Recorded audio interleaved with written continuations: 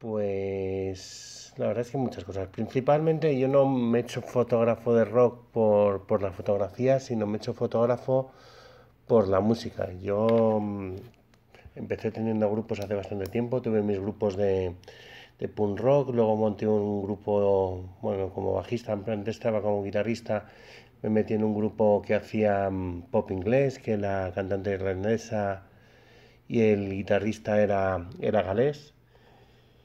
Y siempre he estado muy cerca de la música y, y para mí ha sido mi vida la música. Es lo que, lo que siempre me ha gustado es dedicarme a ser músico, pero al final como, como soy un paquete como músico no le he echado las horas suficientes. Pensaba que era 90% actitud y 10% técnica, pero bueno, no era así. Y al final, de casualidad, entré a, a trabajar en una revista gracias a una amiga que se les había caído el fotógrafo y como, como sabía que le gustaba mucho ver me gustaba mucho ver conciertos y hacer fotos pues me llamó eh, hice las fotos para esa revista. Le gustaron mucho las revistas y empecé trabajando gracias a eso como fotógrafo musical. Al principio como muy aficionado al principio poco a poco hasta que algún día ya dije, bueno, parece que se me da bien, me mola muchísimo, es mi vida esto, eh, me voy a dedicar plenamente a esto.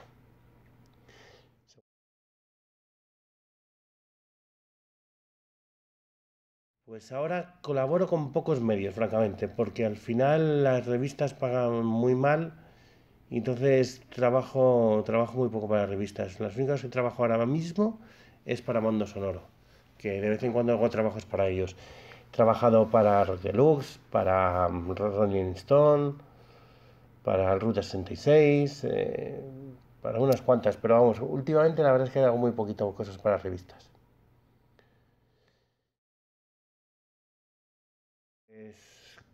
Mm, quizás dos son los que más me han guiado, pero en el fondo también ninguno. A mí lo que me ha guiado, francamente, ha sido desde pequeño estar viendo portadas de música y haber visto muchísimas fotos de promo y de directos, etc sin nunca fijarme en, quién hacía las fotos. Pero sí que había fotos específicas que me llegaban y que me hicieron también cambiar de forma de vestir, de forma de pensar, de forma de, también de tocar la guitarra. Muchísimo gracias a la fotografía. Y, y esa movida interna que me cambió muchísimo al ver todas estas cosas es lo que me ha llevado a mí a hacer también las fotos de esa manera. Viendo fotógrafos clásicos como Anton Corbin o Mick Rock, que, pues, que para mí han sido de los que más me han influenciado. Pero ya te, te estoy hablando un poco más musicalmente, porque es que me gustaban muchísimo los grupos a los que hacía, pues a los Stugges, a, a Tom Waits, a Luis Costello, etc. Entonces, llegué a esos fotógrafos gracias a que era muy fan de esos grupos. Y además, pues, por ejemplo de Anton Corbin, eh, es que me molaba muchísimo el tipo de fotos que hacía, las fotos que hizo Joy Division o a U2 o etc, etc. He hecho millones de fotos que me han impactado increíblemente y eso me ha influenciado yo creo que muchísimo en mi forma de hacer las fotos. Yo creo que soy un poquito clásico en cuanto a ese tipo de, de pensamiento fotográfico.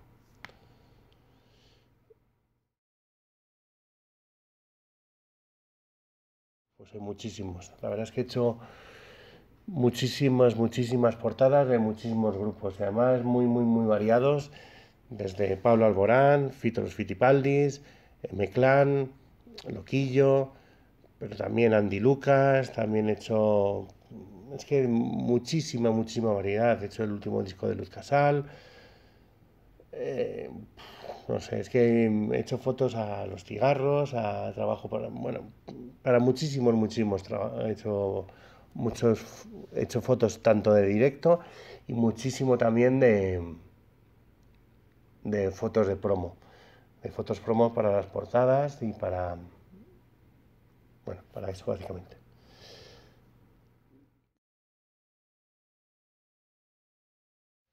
Tampoco me, me fijo mucho en, en, fotógrafos de otras. Me, me fijo más casi en las fotos que en quién las ha hecho. Y tampoco tengo un fotógrafo ahora al que admire, al que siga. Ahora es que tengo poco tiempo y, y entonces tampoco sigo a ningún fotógrafo actual que, que, me, que me inspire.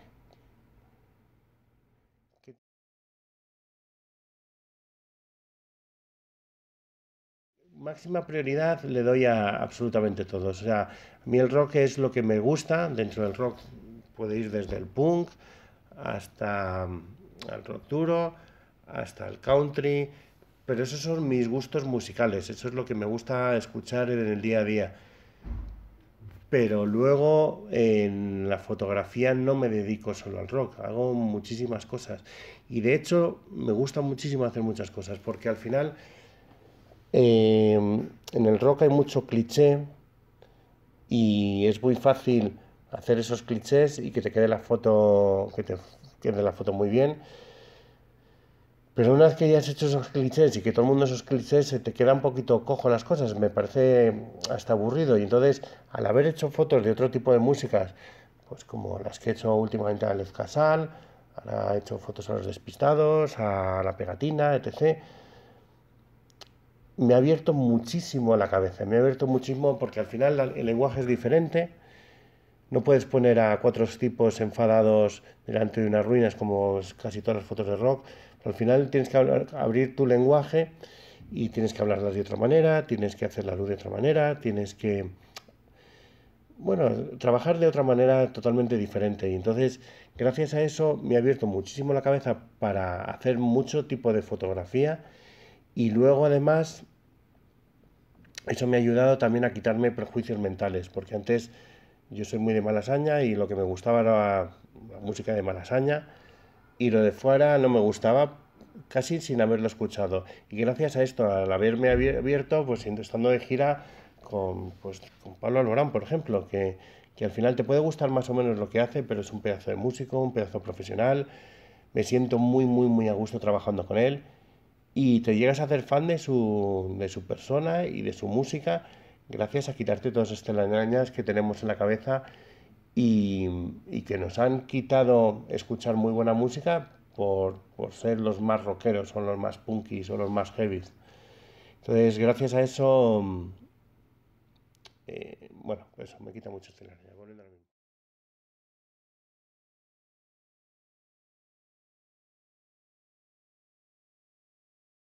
Ver, de directo, mm, sin duda una foto que hice hace bastante tiempo, que fue una foto que hice a CDC, que, mm, que en ese concierto no me acreditaron, pero, pero bueno, estaba trabajando por una marca de cervezas que, mm, que hacían, que tenían la zona VIP de ese concierto.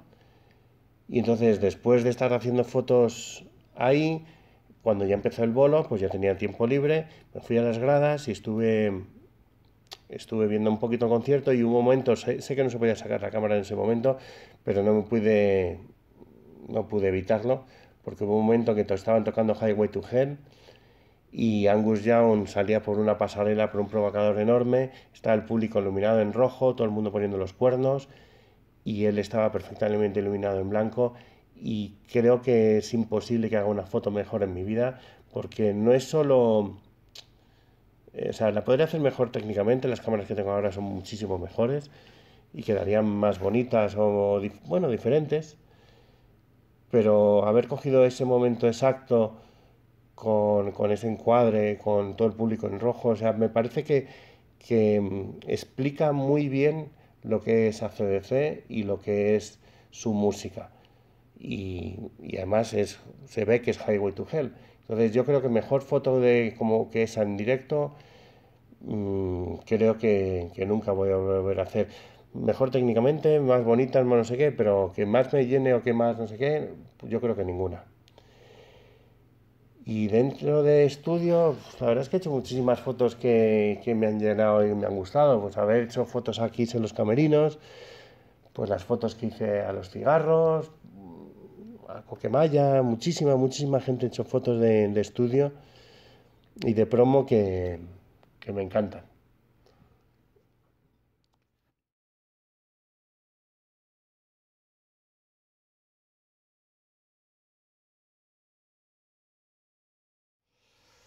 Bueno, pues mm, la verdad es que no sé qué priorizo. Primero, bueno, sí que es verdad que hay una cosa que hay que priorizar para lucir tu trabajo es que los grupos sean conocidos. Porque luce más una foto de ACDC o de Pop o de Kiss, hablando de grupos internacionales muy conocidos, que una foto de, por muy bien que esté, de unos colegas tuyos que estén tocando en un garito pequeño. Porque al ser unos grupos más conocidos les va a llegar a más gente. Eso quizás sería la única cosa que tengo de prioridad. Y luego ya es, no sé, son feelings, una cosa que te da por una foto u otra, porque dentro de las muchas fotos que puedo tener de un mismo grupo, ¿por qué eliges una u otra? Pues la verdad es que no lo sé. Y además que seguro que elegiría en un momento unas y luego unos días o meses más tarde elegiría otra y no sería ni mejor o peor. Sería pues lo que me apetecía en ese momento.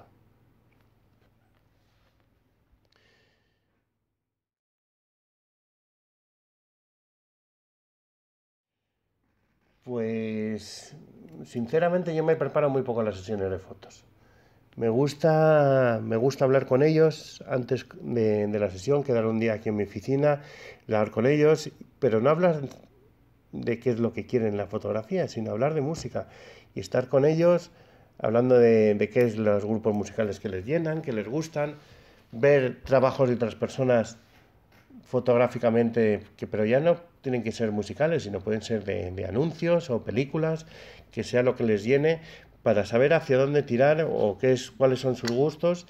Y luego ya con eso y acotando un poquito qué es lo que quieren, si quieren noche o día o exteriores interiores o estudio, pues ya un poquito acotando eso, ya me dejo llevar según vayan surgiendo las cosas, porque cuando empecé yo a hacer fotos procuraba tener las cosas muy cerradas y lo que me di cuenta es que a veces me empecinaba, decía, joder, tiene que salir eso que tengo en la cabeza y al final a lo mejor no era la mejor idea.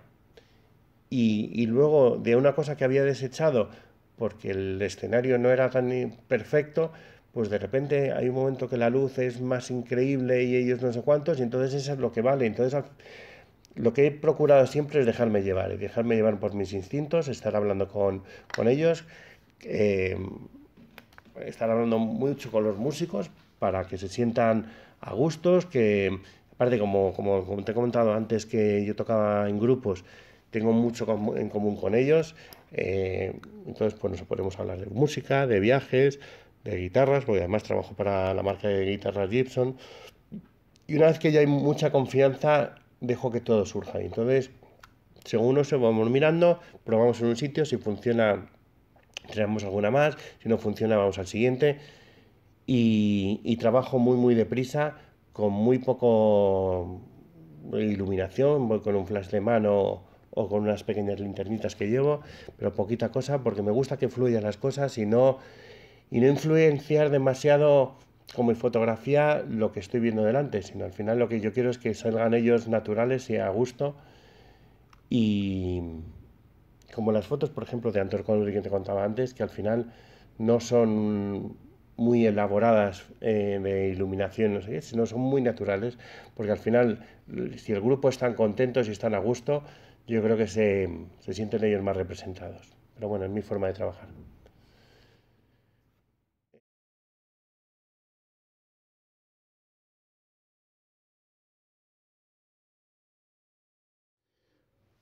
Pues el mayor, el que más, no sé, la verdad es que han sido muchos, porque al final también hay, hay cosas que, mm, que, una cosa es porque te gusta musicalmente. A mí haber hecho fotos, por ejemplo, a Iggy Pop en un concierto que estuve con, haciéndole fotos en el South by en, en Austin, fue increíble porque éramos muy poca gente los que estábamos yendo, por una sala muy pequeña, y tener a Iggy Pop a escasos metros, que se te tirase encima bailando pogo, y estar ahí con la cámara sudando y mientras bailabas poco con el resto de la gente, pues para mí fue, más allá de las fotos y no sé qué, fue especial por estar, por la persona que estaba haciendo fotos, que si Pop es de, de, los, de mis mayores, o sea, de, los, de los personajes que más, que más me llenan.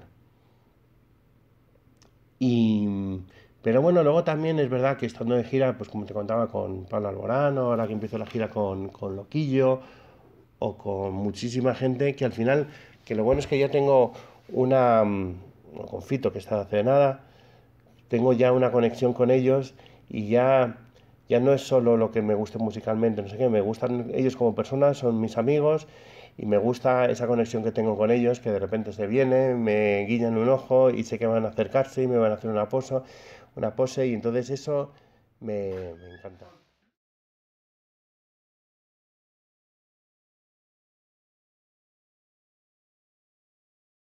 Al final, eh, para mí yo creo que una foto tiene que transmitir y si técnicamente no es perfecta, da exactamente igual. Da exactamente igual porque al final una historia, o sea, una foto tiene que contarte una historia en un solo fotograma. Y si tú al ver esa foto estás viendo el concierto, y te imaginas cómo ha sido el concierto de en cuanto a la gente, el sudor, la pasión, el rock, el volumen. Si puedes verlo en una foto, es que la foto es buena. Si la foto técnicamente está perfecta, las luces también, el, perfectamente enfocada, pero no te transmite eso, me da exactamente igual. Entonces, muchísimo mejor el, la visibilidad que, que la técnica.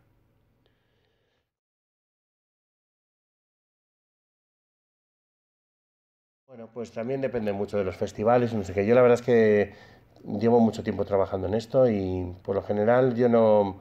Hay veces que te, tratan mejor y otras veces que te tratan peor. Yo en mi caso, por lo general, siempre me han tratado muy bien y además que como tengo mucha confianza con los músicos y trabajo para ellos, eh, no tengo ningún problema de estar en el camerino, de estar en el foso, de estar encima del escenario. Entonces el trato que tengo yo con lo, por lo general suele ser maravilloso.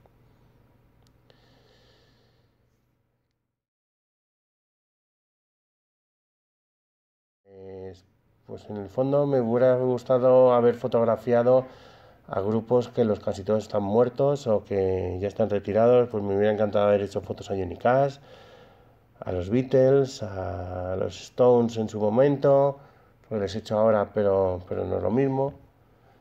Me hubiera encantado hacer fotos a los Clash, a los Ramones, a los Pistols, etc., pero, pero no ha sido posible.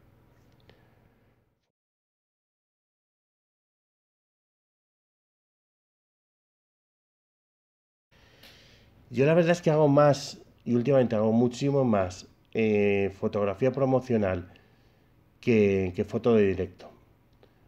Porque me parece muchísimo más reto que, la fotografía de directo. Yo creo que el directo llega un momento en que, es fácil llegar técnicamente a, a hacerlo muy bien. Y además con las cámaras que existen ahora, que aunque lo hagas mal, luego en Photoshop lo puedes, lo puedes calibrar y ajustar tiene, tiene mérito porque tienes que capturar esos momentos y no sé qué, y, pero, pero también es un poquito como, como una labor de, de cazador.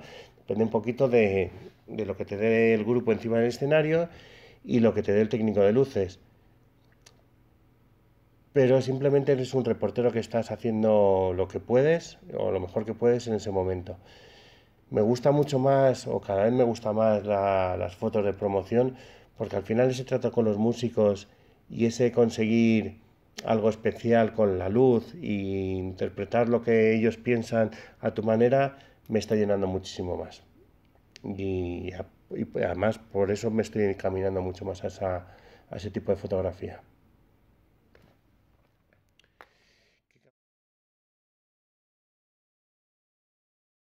Cámara utilizo pues eh, empecé con Canon porque la primera que me compré fue Canon, la verdad es que no me acuerdo muy bien por qué. Y una vez que ya tiras por una marca, sigues con esa marca básicamente porque tienes los objetivos y tienes todo y al final vas cambiando pues los cuerpos, pero pasarte a otra marca eh, pues es imposible monetariamente. Entonces tengo una Mark 3 y una Mark 4 de objetivos un 70-200, un 24-70, un 50-1.2, tengo un ojo de pez y tengo también un 17-35. Todos de Canon y todos de, de la serie L. Con lo que trabajo muy bien, estoy encantado.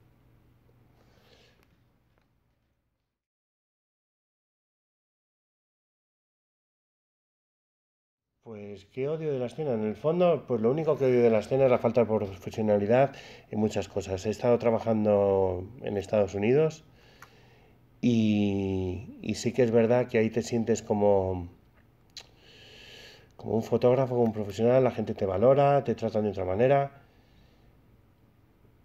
Porque todavía aquí estamos a un, bastantes años luz de, de lo que he visto en Estados Unidos. Pero eso no quita que las cosas están cambiando muchísimo y que gracias a la crisis que ha habido musical, bueno, en general, eh, se ha ido muchísima gente que veía la música como un negocio, que hace tiempo era un negocio, por la venta de discos y se vendían muchos discos. Ahora como no se vende casi nada, no hay tanto dinero y entonces se ha ido mucha gente de la que en la que estaba aquí y podían estar en la música como podían estar en un banco trabajando. Y era un, un negocio más que una pasión. Y entonces yo creo que la gente que nos hemos quedado como profesionales vivimos ahora la música como una pasión y tanto las discográficas como los fotógrafos que estamos profesionalmente trabajando de esto, como los músicos, como es tan difícil ganarte la vida con ello, eh, luchamos todos los días para que esto vaya mejor y para que, pues en mi caso, las fotos sean cada vez mejores, que no, que no con lo que vale eh, sea suficiente, sino ir siempre más allá, intentar mejorar técnicamente, mejorar esos ángulos, mejorar la luz que tienes, mm, ir cada vez ir mejor para que esa brecha que, tenemos con respecto a otros países cada vez sea más pequeña y que por ahora, o por lo menos intento que al final la brecha sea solo monetaria, no, no de calidad. Y yo creo que poco a poco se está consiguiendo.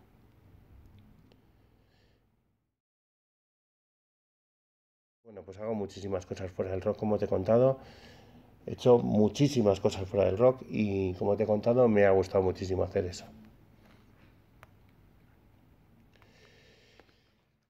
Pues como despedida, eh, como espacio en blanco y despedida final, pues tampoco sé muy bien contarte. Pues al final eh, estoy muy orgulloso de vivir de lo que me gusta y de, de, ser feliz con ello y de pues que cada semana sea diferente en mi vida, que eso me gusta, sin saber muy bien lo que voy a hacer.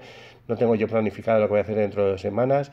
Al final siempre semana a semana lo que va surgiendo y eso al final ese gusanillo de no saber qué va a pasar, pues me mola mogollón. Y, por ejemplo, esta semana, mañana me voy con Loquillo, el viernes me voy con Tequila, y son cosas que hace una semana no sabía qué iba a hacer. Entonces, pues ese tipo de cosas me, me encantan. Y bueno, pues para los que queréis dedicaros a esto, que mucho ánimo y no desfallezcáis y a seguir luchando. Pues un abrazo a todos.